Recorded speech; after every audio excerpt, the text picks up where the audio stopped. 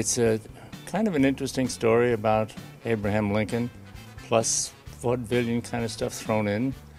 And there's, you got your drama, and you got your comedy, and a lot of funny things. It, it's really about um, uh, this trial in uh, Menard County, which is where Abraham Lincoln was born and raised, and it's a, it concerns a school teacher who. Um, inserted to her school pageant that uh, the possibility that Abraham Lincoln might be gay, and then the kind of controversy that ensues from that, and, and comic hijinks. What ends up happening in the play is that we get to see the controversy through the perspectives of three different people a reporter from uh, New York City, uh, a, a, person who's the defense attorney, and then uh, a person who is the prosecutor. And their stories interlock in a kind of wonderful Rubik's Cube fashion. The audience gets to decide in true democratic fashion every night um, whose act we'll see first. It kind of doesn't matter which act comes first, which makes it really fun and interesting, not only from the audience perspective, but for the actors as well. And um, and they come in and they decide, and then we rush backstage and go ah and come back out and act like everything is okay. In some cases it begins as a mystery. In others it begins as a romance. In others it begins as a West Wing style political thriller. The title alone was was like I have to read this. I have to like, I have to work on this. And then after I read it I realized it was smarter than than somebody might think it is. Just because you, you think Abraham Lincoln's big gay dance party, you think it's just a big frivolous night out, just a lot of gay jokes. And it's not just that, it, it also deals with real life circumstances. You gay is the new black people.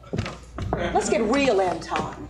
You boys live in the richest cities in the world. Now, scratch that, the richest neighborhoods in the richest cities. And yet, when someone hurts your feelings, you beautiful men with your awesome hair and expensive clothes and perfect teeth start talking like your sharecroppers from Mississippi.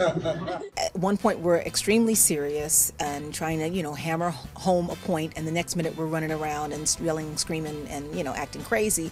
So um, it, it's just wacky. I mean, you can't even put words to it almost because, um, and it keeps the audience um, on, on edge because you just don't know what's going to happen next. The, most of the vaudevillian stuff comes in a form of a, an instant dream or a thought, like, oh my God, and this is what happens inside the guy's brain.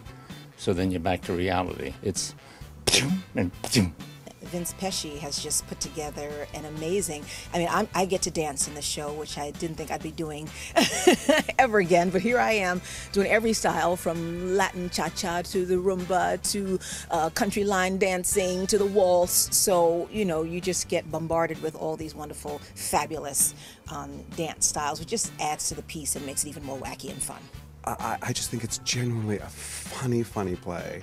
Uh, hugely theatrical, which I love, and it's it's a it's very moving, and it's about something about who we are as Americans, our history. Something may happen up here that may change how you thought you thought about issues, you know, social issues, human issues. The wonderful thing about it is that they're not going to be beat over the head with it. They're going to be hit in the face with a lemon meringue pie. So it's going to be fun. It's going to be poignant, and they're just going to have a great time. I think the thing that you're going to see is a big, surprising, funny, smart play that's going to make you think and hopefully laugh out loud a ton of times. Come in just completely open-minded and go on for the ride because it's pretty it's pretty amazing ride.